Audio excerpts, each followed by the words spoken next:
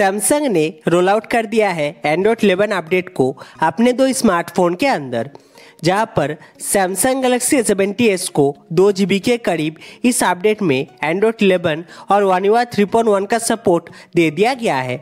साथ में मार्च 2021 का सिक्योरिटी पैच भी देखने को मिल जाएगा। दूसरी ओर सैमसंग गैलेक्सी नाइन्टी के अंदर हमें एंड्रॉयड 11 और one UI three point one का अपडेट देखने को मिल चुका है। इन सभी डिवाइसेस में स्टेबल अपडेट आप लोगों को देखने को मिलेगा, जहाँ पर one UI three point one की सारी फीचर्स आप लोगों को देखने को मिल जाएगा। उसके साथ डिवाइस की परफॉर्मेंस और भी अच्छा हो चुका है। तो जाइए दोस्तों, आप लोग जल्दी से अपडेट कर लीजिए। तो मिलते हैं आप लोगों से और एक नए वीडियो के अंदर। तब तक के लिए गुड बाय